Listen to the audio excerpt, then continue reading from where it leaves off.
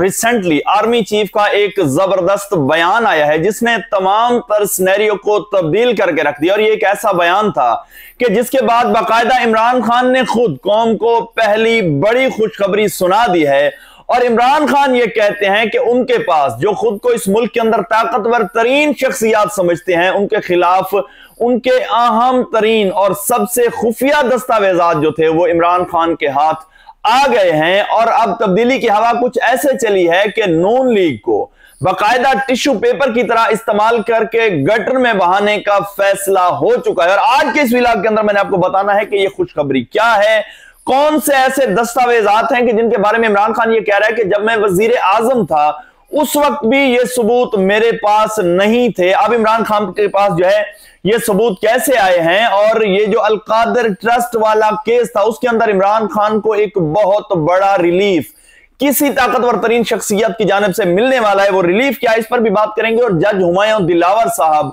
जिनको बाकायदा लिखा लिखाया फैसला तोशा खाना का मिल चुका है वो अभी तक सुनाने की हिम्मत क्यों नहीं जुटा पा रहे? ऐसी कौन सी हर्डल्स हैं जो तोशा खाना केस के अंदर आ रही है? इस पर भी बात करेंगे और सबसे अहम तरीन बात के जनरल आसम मुनीर ने ऐसा कौन सा खिताब किया है कि जिसने पीडीएम की ना सिर्फ़ आखिरी उम्मीद छीन ली है, बल्कि इमरान खान का सबसे बड़ा मुतालबा अब तक का तस्लीम कर लिया गया है। और यहीं से हम बात का जो है आगाज़ कर लेते हैं कि आर्मी चीफ ने ऐसा कौन सा बयान दिया आर्मी चीफ नाजगाम ये कहते हैं कि पाकिस्तान को मौजूदा बहरान से निकाल कर दम लेंगे। अब नाजरन का मैं आपको बताता हूँ कि इस बयान के पीछे क्या कुछ छुपा हुआ है, प्लान क्या है एस्टेब्लिशमेंट का, जरा सुने। सवाल यह है कि कैसे निकाला जाएगा इस बहरान से? नाजन सबसे अहम तरीन जो तब्दीली की जा रही है, गैर आईनी कानून साजियाँ की जा रही हैं कि ये जो निगरान सेटअप आ रहा है, निगरान वज़ीर आज़म आएगा और जो निगरान सेटअप आएगा। इसको बाकायदा टेक्नोक्रेट हुकूमत के इख्तियार दिए जाएँगे। इनके पास ये तमाम तर इख्तियार होंगे और ये सब कुछ मज़े की बात यह है, दिलचस्प कहानी यह है कि नून लीग के हाथ से जो है सब कुछ करवाया जा रहा है और फिर आईएमएफ का नाजन काम अगला, यानी जो तीन साल प्रोग्राम है, फैसला यह हुआ है कि वो ये तीन साल जो प्रोग्राम होगा, यही टेक्नोक्रेट सेटअप जो है, ये मुकम्मल करके जाएगा। अब नाजन का मैं ऐसा क्यों कह रहा हूँ? आईएमएफ की शरायत कौन सी है और उन्हें कौन सी यकीन दहानियाँ करवाई गई हैं? जरा समझिएगा, ये सब कुछ मैं आपको इस बयान का पसे मंजर बता रहा हूँ कि पाकिस्तान को इस बहरान से निकाल कर दम लेंगे। आईएमएफ की पहली शर्त यह है कि ऐसी हकूमत लाओ जो स्टेबल हो, यानी जिसको गिराया ना जाए, जिसको गिरने का खतरा ही ना हो नंबर वन ऐसी हुकूमत हो और दूसरा सबसे बड़ा जो मुतालबा इस वक्त का आईएमएफ का वो ये है कि हम आपका साथ देने के लिए तैयार हैं लेकिन आ, कुछ ऐसी यानी एक ऐसी हुकूमत आप लाएँ कि जिनको हम जो कुछ तब्दीलियाँ जो रिफॉर्म्स करने को कहें वो बगैर किसी सियासी यानी दुख दर्द के अपने सियासी बयानी के टूटने के किसी सियासी खतरात के हमारी तमाम तर रिफॉर्म्स जो हों वो मिन्नो अन फौरी तौर पर कर दे। ये दो बड़े मुतालबात रखे गए हैं, लेकिन अब सवाल ये है कि ये जो तीसरा ऑप्शन है टेक्नोक्रेट्स वाला, ये चुना क्यों जा रहा है? इसके पीछे बड़ी वजह क्या है? बड़ी वजह यह है नाजन कि इमरान खान, अगर हुकूमत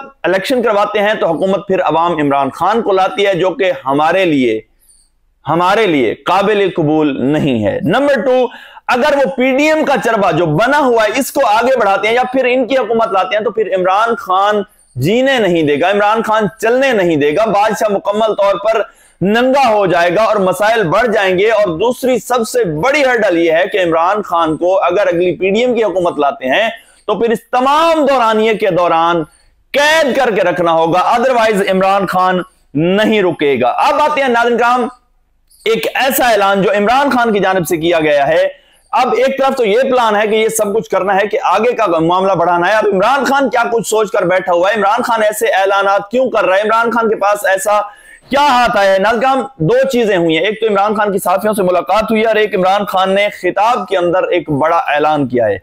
नजगाम जो ऐलान किया इमरान खान ने, वो ये है कि इमरान खान ये कहते हैं कि मेरे पास कुछ ऐसे खुफिया दस्तावेजात, यानी एक खुफिया नैब की मीटिंग के मिनट्स आ चुके हैं कि जिसके बाद आपको पता है कि नैब को चलाने वाला कौन था और जब इस तरह की खुफिया मीटिंग्स के मिनट्स आ जाते हैं तो इमरान खान इसीलिए कह रहे हैं कि जब मैं वज़ीर आज़म था, माफ़ कीजिएगा, उस वक्त भी मेरे पास ये सबूत नहीं थे और अब ये तमाम तर चीज़ें जो है मेरे पास आ चुकी हुई हैं। तो सवाल यह है कि अब ये दस्तावेजात क्या हैं? इमरान खान इतने बड़े दावे क्यों कर रहे हैं? दस्तावेजात हैं असल में नैब की उस मीटिंग्स के कि जिसके अंदर अलकादर ट्रस्ट वाला जो मामला था वो उठाया गया था कि जो अलकादर ट्रस्ट केस बना गया, बनाया गया और मलिक रियाज की दौलत ये जो 190 मिलियन पाउंड पाकिस्तान के अंदर आए और फिर सुप्रीम कोर्ट के अकाउंट के अंदर चले गए वो इंक्वायरी कैसे खत्म करवाई गई, किसने खत्म करवाई और इस मामले को ऐसे क्यों खत्म किया गया? यानी वो इंक्वायरी अचानक क्यों रुकवा दी गई और जो घर, माफ़ कीजिएगा अली रियाज ने नवाज़ शरीफ साहब के बेटे से खरीद, खरीदा था। यह फैसला हुआ था उस वक्त के जो जब वो उसको बेचेगा तो उसके खिलाफ कार्रवाई होगी। अब नाजिन काम ये तमाम तर चीज़ें किसकी तरफ़ से हुई? यानी ये अगर इंक्वायरी होगी, वो बेचता है घर इंक्वायरी होगी तो किसकी तरफ़ से होगी? एक तो एनसीए यूके यानी क्राइम एजेंसी है जो यूके की, उसकी जानब से होगी और दूसरा नए पाकिस्तान की जानब से, और ये तमाम तर सबूत।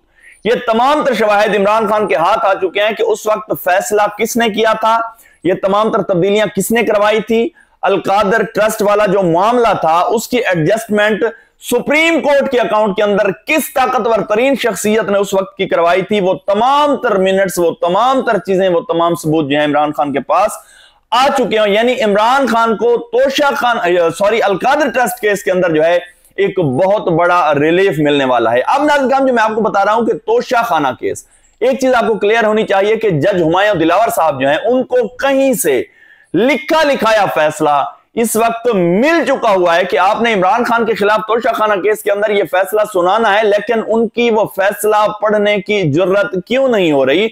मामला इख्ताम तक क्यों नहीं पहुँच रहे? क्योंकि इमरान खान के जो वकला की टीम में ख्वाजा हारिस साहब हैं उन्होंने ना सिर्फ़ हुकूमती वकला, बल्कि जो दो गवाहान थे, उनको भी मुकम्मल तौर पर एक्सपोज कर दिया है और उड़ा कर रख दिया और एक और चीज़ सबसे बड़ी जो हर्डल है इस वक्त, वो ये है कि अगर ये फैसला जो लिखा लिखाया पहुँच चुका है, इस वक्त जो हालात चल रहे हैं, अगर ये इमरान खान के खिलाफ इस तरह का कोई फैसला सुनाते हैं तो वो फौरी तौर पर सुप्रीम कोर्ट के अंदर उड़ा के रख दिया जाएगा। और इमरान खान को नाजकाम इस बात का यकीन क्यों है? वो इतने मुतमिन क्यों है?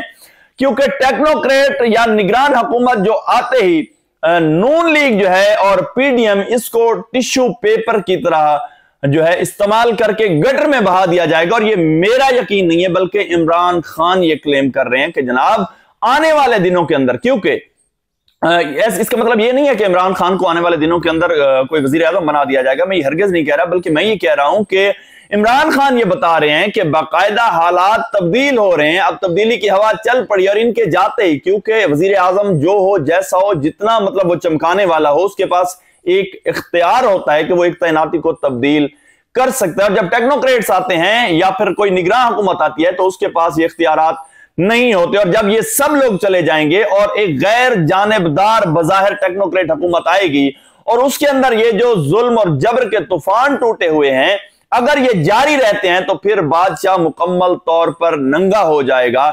इमरान खान ये कह रहे हैं कि अब ऐसा हरगिज नहीं होगा। मुझे तो है कि जो आइंदा आने वाला सेटअप होगा, उसके अंदर ये सख्तियाँ भी कम होंगी और मुल्क कानून के मुताबिक चलेगा। यानी इमरान खान का जो सबसे बड़ा मुतालबा था रूल ऑफ़ लॉ वाला, आने वाले दिनों के अंदर ये मैं नहीं कह रहा, बल्कि इमरान खान कह रहा है कि वो मुतालबा तस्लीम हो जाएगा। ये थी अपनी ख्याल रखिएगा, पाकिस्तान, जिंदाबाद।